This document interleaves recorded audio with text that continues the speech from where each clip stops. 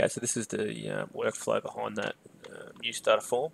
Anyone can start the form. If there's uniforms, it'll go to Uilizer to be able to then have your input. So that's where you'll put in the date and any comments around the issue of those uniforms. If there's no uniforms, it'll skip that step. If emails are required, Katie is to put in um, the date they're supplied or any IT assets are supplied. If not, it'll go straight to the director's approval. Then up to HR for acknowledgement.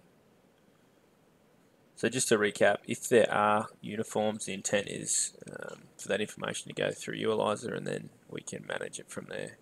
Happy for that to come back through here if we want to get a, a pile of um, uniforms in-house.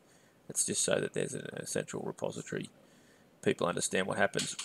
I suppose the other thing to add here is that uh, HR will keep a record and an inventory of all of the assets, um, whether it be a laptop, a uniform, an email, venue keys, passwords. Um, so each will have a you know, we'll know exactly which employees has what information so that in the event that we have to offboard them, we know to chase them for keys or to change safe codes or to get uniforms back, that sort of thing.